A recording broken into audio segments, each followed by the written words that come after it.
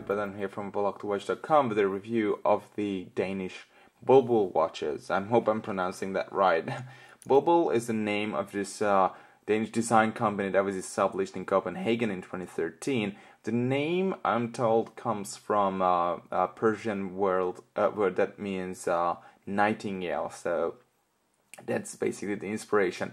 What Bulbul does is that they work together with uh, today's generation of designers to create these uh, interesting designs that are, of course, very Danish. If you if you know Danish design, you would know that um, it's it's oftentimes it's uh, very very simplistic, very minimalistic, and yet there's some sort of a fun aspect to that to it, and uh, that's exactly the case here. You know, there's not much going on on these watches, but um, all the little details have been thought out and created in a way that uh, they are not at all boring. On on the very contrary, um, you can tell that you know these watches just look so simple. The Pebble has this 37 by 40 millimeter by 8 millimeter thick case that's just so so simple. It, it really is like a pebble. You can you, when when when touching, you can feel all these very soft edges, and the shape is unique as well. So this is this is one of the things that I, I, I really enjoy about it is that you just you just put it on,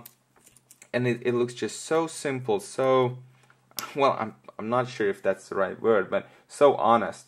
Uh, there's really it's just a fun piece that you're wearing for your for yourself, not to show it off, not to impress others, but because you just see the fun aspect of it.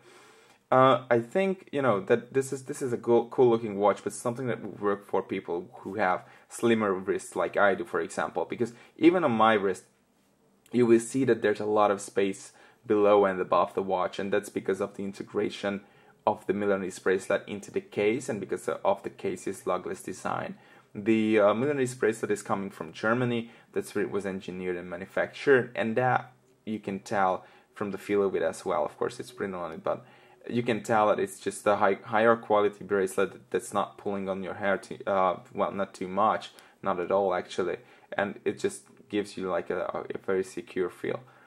So this is the Pebble. It has uh, a Swiss quartz movement in there with uh, 10 years of uh, approximate battery life, and the same goes for the uh, Facette line of watches. Both the Pebble and the Facette uh, collections comprise six different models and from the Facette collection I have two here that look just a little bit more uh, feminine, especially on these on these straps. So if you look at these, this uh, rose gold kind of color and this one on this uh, cream strap, just looks so feminine. But the ladies in my family just love these.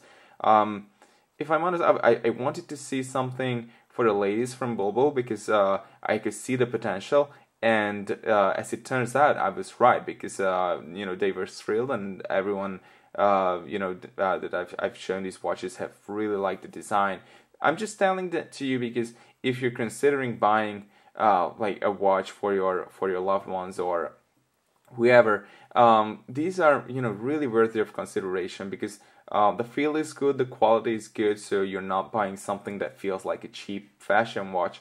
And I think that's a really good combination because if you if you have something that looks so simple, uh, details you know play a, a, much greater role. If something has tons of pushers and subdials and patterns and, and different materials, you know little mistakes do get lost. But here, when there's so little going on, you, you, you kind of can tell very easily if something is just not right, if a fit is not done properly, if, if a screw is missing or whatever. But here, I, you know, I'm really satisfied with the with the uh, and pleased with the with the quality of these watches. Of course, that means that they come at a price point that's a little bit higher than your average fashion watch. The price for the Facette is 295 euros and for the Pebble it ranges between uh, 350 and 375 euros. So that's not exactly cheap for something that's uh, arguably design inspired, but I would still rather call these watches design watches than uh, fashion watches. And you can tell that these appear to be a little bit more of a lasting design that will look good years uh, from now as opposed to something that's all flashy and just uh, you know not trendy from like half a year from now. So i think that these watches look really cool. You can change the straps easily and they're selling a bunch of different strap designs that goes really nicely into this uh, perfectly uh, run case. One thing to note here is that on these watches you have to use um, a screwdriver to get these uh, straps out. So, so they don't have those uh, push pins that you would uh, use uh, like on an ordinary watch, but you need a screwdriver. And I didn't receive a screwdriver uh, that, that goes in here from the brand, but actually I did have one laying around that I was using to take the screws out from my um, old iPhone 4. So the interesting thing is that these use the same size and uh, head design as those. So if you have one of those, you can use that. Anyhow, um, you know what, what what is left to be said is that these are really nice looking watches that I that I found to be of uh, of high quality that justifies the uh, the somewhat higher price that you are uh, paying for when compared to an ordinary fashion watch. So this was a review of uh, Bulbul watches from Denmark, and you can see the full review on the blog thewatch.com soon.